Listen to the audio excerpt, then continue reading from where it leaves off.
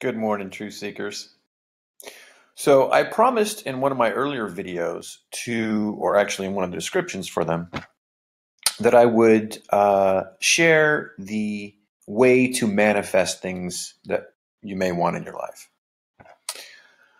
I found a formula to do this a long, long time ago, and then I found a group that I always talk about, the religious scientists, that do the same thing. So I joined them. And it goes like this.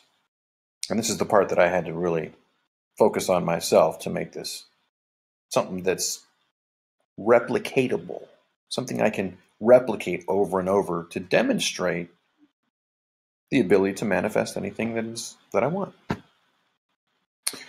So, what most people do, I assume, is to uh, kind of say, "Hey, I need this thing. I recognize that I need this thing." Then maybe ask the universe in general for it. Please, please, God, deliver me this, whatever. But I give you um, a little bit different of a scenario, one that actually will create or manifest that thing that you desire. And that is to accept that you have it. And some people may say, well, if I don't have any evidence, like how am I supposed to do that? Well, this is the essence of faith. And this is uh, what we've heard about from so many groups in the world about faith. Well, this is it. This is exactly what faith is. It's saying to the universe, there is this thing that I need. And you are going to deliver it to me, and I appreciate so much that I have it already. And thank you very much for doing that. I appreciate it. From this point, I leave. I'm happy. I don't think about it again. And it will materialize. Don't know when, don't know how, but usually it's very soon.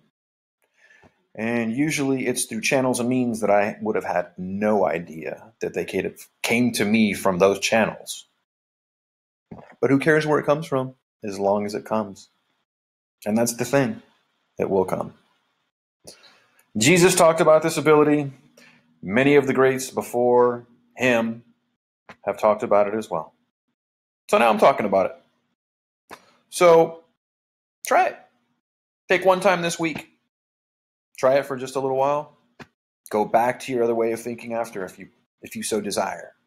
But test it out. Try it. When you make that first connection and you manifest that thing that you want that first time, it's going to be like a drug. You're going to then try to do it all the time. This is spiritual growth. It's how we are naturally. It's what grandma used to do when she needed food for the family. So it's nothing new but there's now a new way to think about it and harness it to make it a formula for creating anything that you desire in this life.